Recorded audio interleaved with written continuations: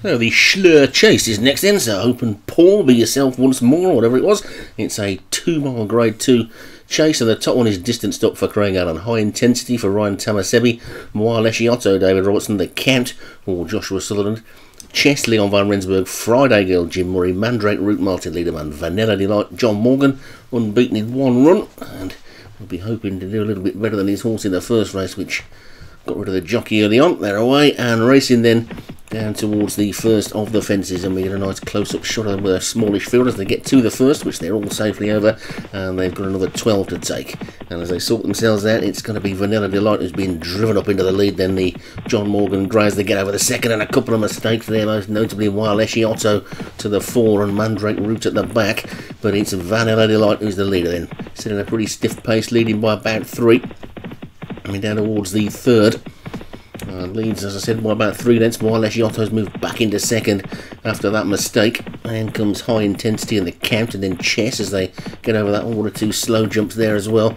The count didn't jump it all that quickly as they get to the next. The leader got over that one nicely. So Vanilla Delight in the lead then as they begin to swing out then now for a complete circuit of Prestbury Park, and Vanilla Delight is the leader by about three lengths to more Lesciotto in second, and Chess is in third.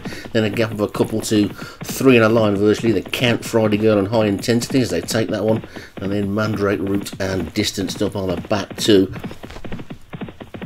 as they race onto the back part of the track then Vanilla Delight is not hanging about in the lead and leads by two and a half to Wild Lesciotto in second Chess and the Count are third and fourth as they get to the next and Chess was the one that made the bad move this time and didn't jump it at all well as they raced down towards the water and Vanilla Delight is the leader leading by a couple of lengths to in second place Wild Lesciotto all safely over the water, no four faults there then, and Vanilla Delight in the lead.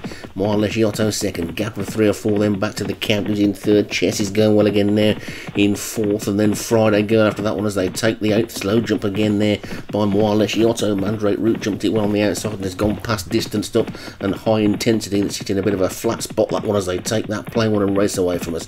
And it's Vanilla Delight in the lead then by a couple. To Moa Lesciotto back in second. Bigger gap then back to the count in third and Chess in fourth and Friday Girl is five, then high intensity, and then distanced up, and Mandrake Root has now dropped to the back of the field as they take another ditch which they all get over nicely, and Vanilla Delight is clear by two still to Wild Lesciotto, who's going well despite those couple of mistakes in second. The Count is trying to run on in third. Chess is still there in fourth, but they're going to have to get, get going to get to this leader. I think they've got five furlongs to go, and they've still got a couple more fences to take.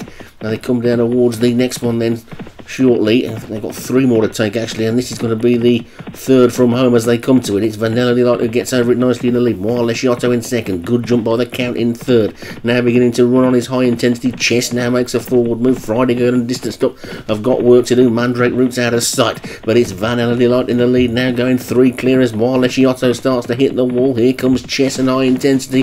They're going to be the ones to throw down the challenge over the final two fences, I think. And it's Vanilla Delight who's still clear by four. Two high intensity and Chess in second and third. They've still got two more fences to take. This is the second last now. Vanilla Delight stood off it, got over it well there, but here comes Chess, and now the count and Friday Girl intensity. It's really getting close now. Chess a slow jump. Vanilla Delight gets away from the final fence in the lead. Vanilla Delight's been in the lead all the way, but now being pressed on the outside by about three or four horses, and the count's beginning to put its head in front. The count takes it up from Chess and high intensity. The count is just in the lead.